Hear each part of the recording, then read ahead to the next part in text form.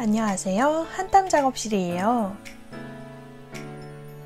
오늘은 파스텔을 이용해 꽃반지를 만들어 볼 거예요. 그럼 시작할게요.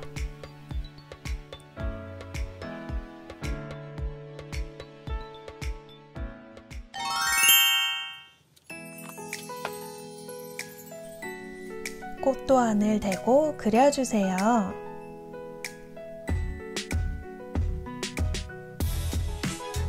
꽃색과 동일한 색연필로 테두리를 그렸어요. 움직이지 않게 잘 고정하고 그려주세요.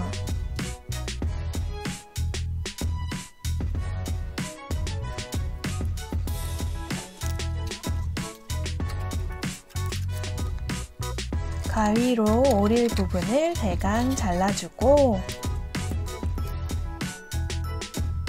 꽃 모양으로 다시 잘랐어요.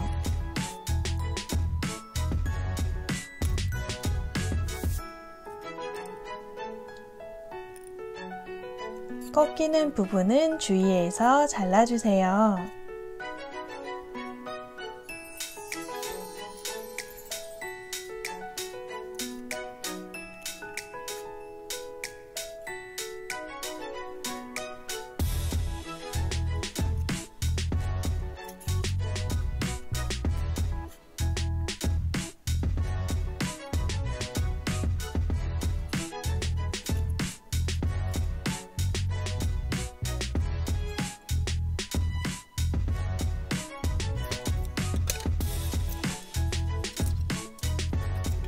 꽃잎 모양이 만들어졌으면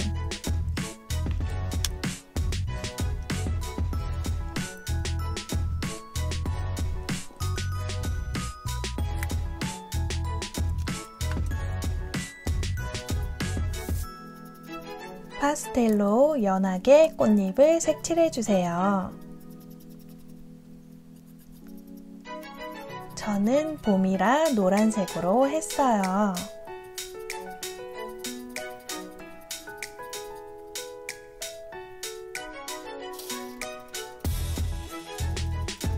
면봉을 이용해서 펴주면 칠하기 편해요.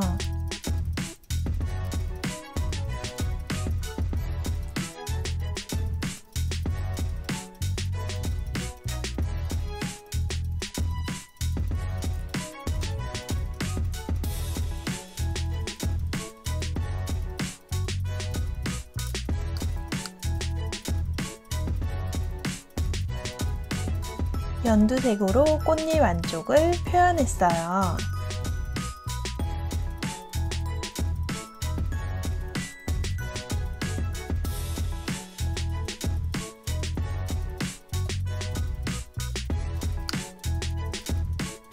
꽃잎이 완성됐어요.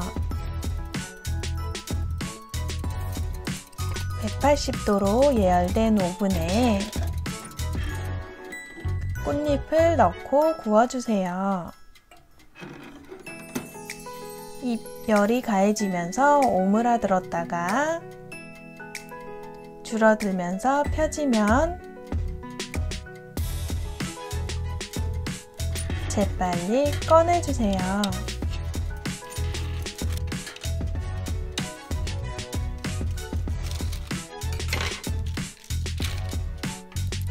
입체적인 꽃 느낌을 주기 위해 스펀지 위에 올리고 동그란 막대기로 살짝 눌러주세요. 파스텔로 칠해서 은은한 노란색에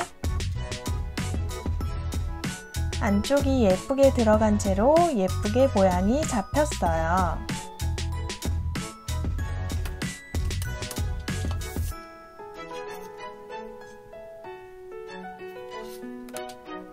레진으로 코팅할 거예요.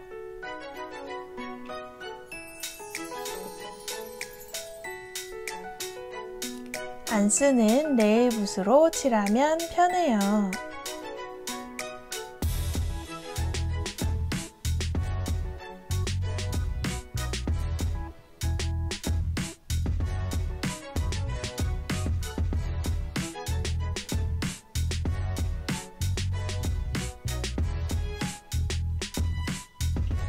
UV 램프에 구워주세요. 레진 코팅을 다시 하고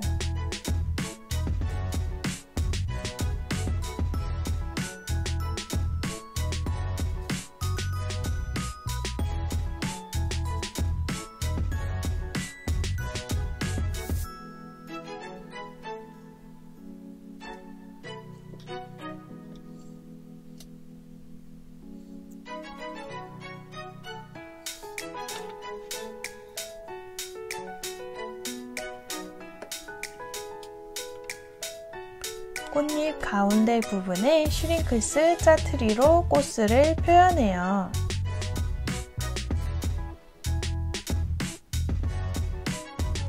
슈링클스 짜투리를 펀치로 뚫어서 구우면 투명 큐빅 느낌을 낼 수 있어요.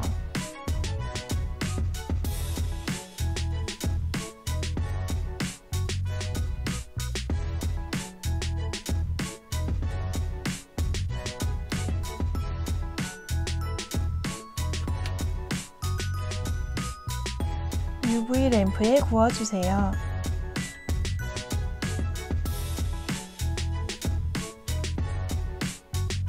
봄에 어울리는 꽃이 완성됐어요. 색은 은은하면서 코팅을 해서 반짝여요.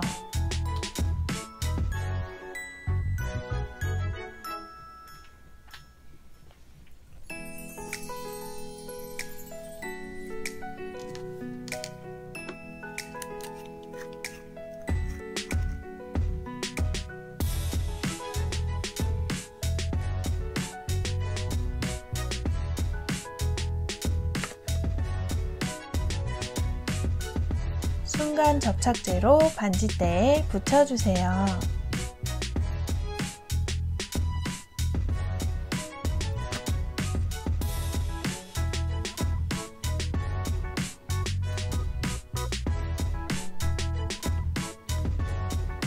붙은 줄 알았는데 또 쓱 떨어지더라고요.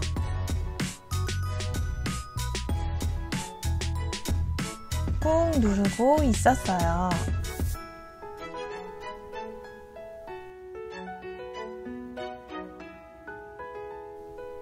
드디어 꽃반지 완성!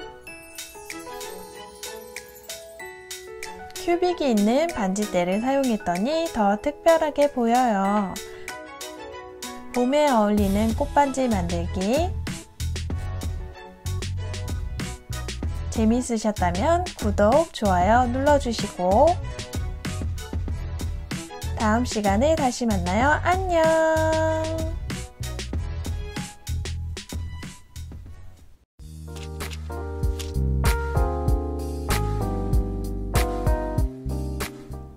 오늘 영상 재밌게 보셨나요? 지금 요 밑에 나오는 영상들은 제가 추천하는 영상이에요. 한번 보시고 또 연결해서 다른 영상도 봐주시길 바랄게요.